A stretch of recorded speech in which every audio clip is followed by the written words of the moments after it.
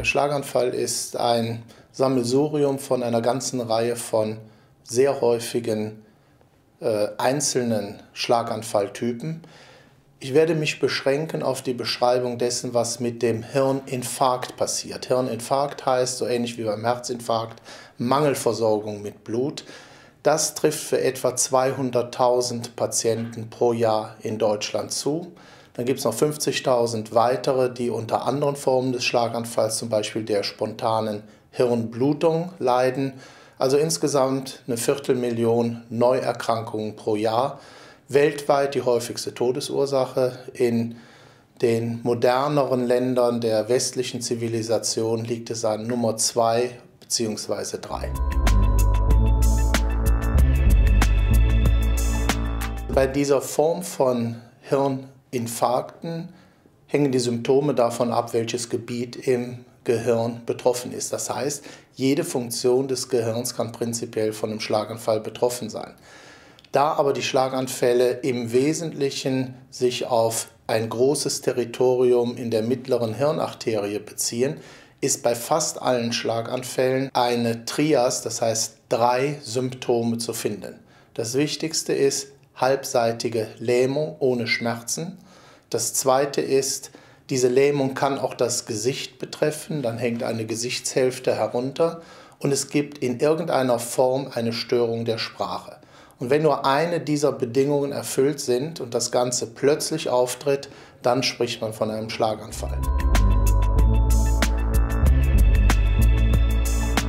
Die eigentliche biologische Ursache der Hirnischämie, also des Hirninfarktes, ist ziemlich einfach. Ein Blutgefäß, eine Arterie, eine Schlagader, die ins Gehirn führt oder im Gehirn verläuft, wird auf irgendeine Weise verschlossen und das Gebiet dahinter kriegt kein Blut mehr und keinen Sauerstoff und keinen Zucker mehr. Also es wird nicht mehr ernährt und es stirbt ab.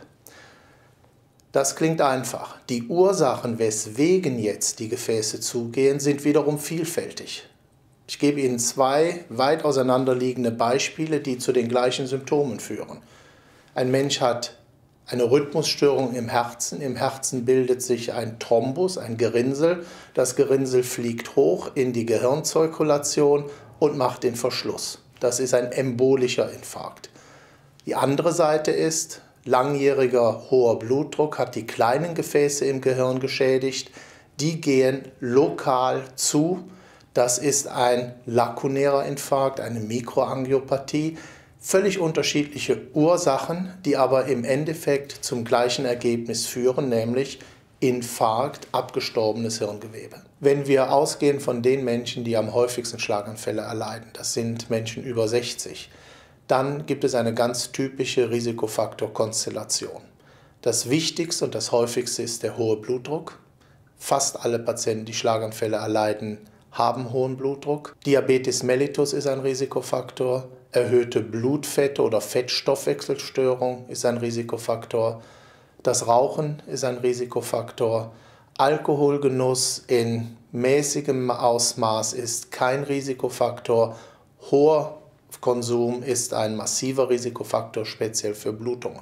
Und dann gibt es noch ein paar Risikofaktoren, äh, an denen man im Gegensatz zu denen, die ich gerade genannt habe, nichts machen kann. Das erste ist das männliche Geschlecht. Männer bekommen häufiger Schlaganfälle als Frauen. Das zweite ist natürlich die genetische Komponente. Äh, wenn man aus einer Familie kommt, in der häufig Schlaganfälle oder Herzinfarkte gewesen sind, dann ist das persönliche Risiko, auch wenn solche Risikofaktoren, wie ich sie eben genannt habe, nicht vorliegen, trotzdem erhöht. Und das Letzte können wir auch nicht verhindern, wenn man älter wird, nimmt das Risiko zu. Ab 60 Jahre verdoppelt sich das Risiko, einen Schlaganfall zu bekommen mit jeder Dekade.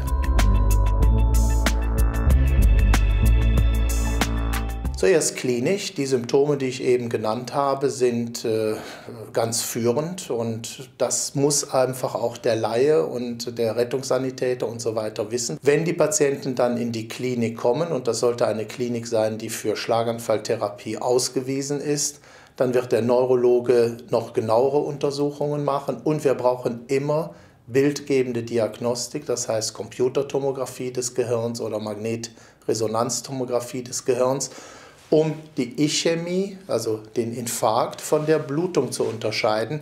Denn Infarkt und Blutung haben auch die gleichen Symptome, aber nun wirklich äh, 100% konträre Ursachen.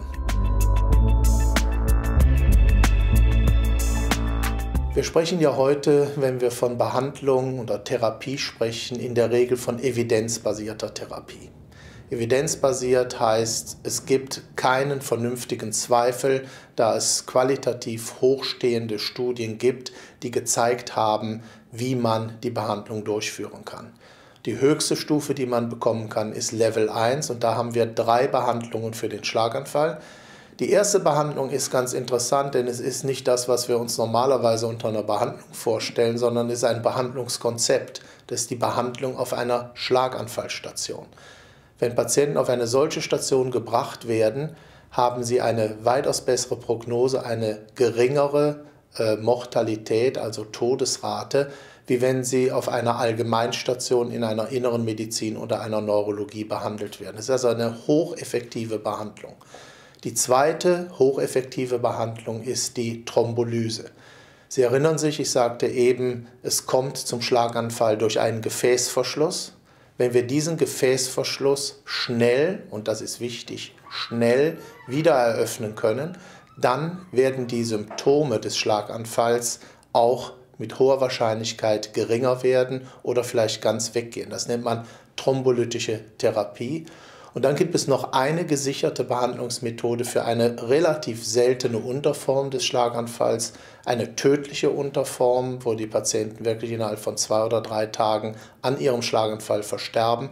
Das ist eine chirurgische Maßnahme, bei der der Schädeldeckel eröffnet wird und ein großes Stück Schädelknochen weggenommen wird, sodass das Gehirn anschwellen kann und später wieder abschwellen kann.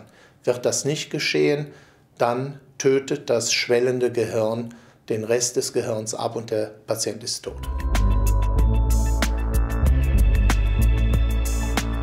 Es gibt eine ganze Reihe von spannenden neuen Forschungsansätzen, äh, die sich zum Teil schon in klinischen Studien der Phase 2 oder 3, also relativ nah am Weg zur Zulassung befinden. Ein ganz wichtiger Teil ist die Hypothermie. Das ist eine Therapiemethode, bei der der Patient äh, tatsächlich vom ganzen Körper her und damit auch vom Gehirn her um 2, 3, 4 Grad Celsius abgekühlt wird. Und man weiß aus Tierexperimenten, dass das ein hochgradiger Schutz des Hirngewebes gegen die Prozesse ist, die bei der Ischämie, bei der Durchblutungsstörung geschehen. Dann gibt es eine ganze Reihe von weiteren hochattraktiven Verfahren, die zum Teil sich auch damit beschäftigen, die Möglichkeit der Rekanalisation zu verbessern. Da werden heute sogenannte Rekanalisationsinstrumente in die Hirnarterien eingeführt und die Tromben mechanisch entfernt. Auch eine ganz spannende Geschichte und noch viele, viele andere, auch medikamentöse Verfahren, die allesamt entweder eine schnellere Rekanalisation auf der einen Seite oder einen besseren Schutz des Hirngewebes gegen den Sauerstoffmangel bewirken sollen. Insgesamt tut sich da unglaublich viel. Äh, vor 20 Jahren gab es noch überhaupt keine äh, Therapie. Da war die Prognose des Schlaganfalls noch sehr, sehr schlecht. Das hat sich massiv geändert. Wir haben zwar immer noch sehr viele Schlaganfälle, aber die Behandlungsmöglichkeiten haben die Gesamtprognose massiv verbessert.